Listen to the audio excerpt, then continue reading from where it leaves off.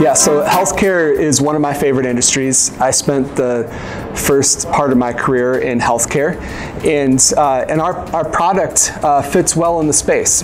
And uh, so when you think about healthcare, obviously there's there's different categories and, and such, but um, we probably spend more more uh, time on the delivery side or on the provider side. So it could be a doctor's office that has um, you know three or four locations. Uh, our largest healthcare entity has about a thousand users across 50 locations. So we kind of um, reach all different sizes.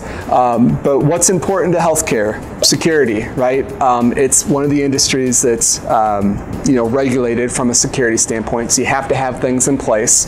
Uh, mobility is really important, and mobility comes into play. Um, not just when we think about mobility, it is when you go home. Well, mobility in healthcare has a lot to do with just workflow within the office, right? So there's some users that are literally doctors and nurses that are moving around with laptops. There's uh, users that may use exam rooms and then go back to the nurse station.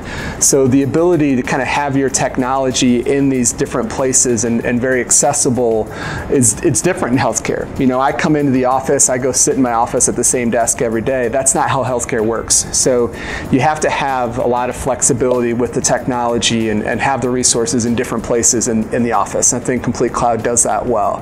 And the last thing is support. So um, when you have a patient in front of you and something's not working, you got to have support quick. So this idea that you can call, chat, or text and get to a tech, literally most of the time it's within a minute, um, our healthcare providers really appreciate uh, because they're they're constantly in front of their customers, and um, and we've all been in a doctor's office. There's nothing worse than sitting in that waiting room for longer than you need to. Half the time you don't feel good. So um, just the idea of kind of being there quickly for for that industry to provide so they provide our kinds of care so they can can provide their kind of care, um, it's, it, it, works well. Um, so we, we, have, we do quite a bit of business in healthcare, and I think our, our healthcare customers um, really benefit from, from the platform.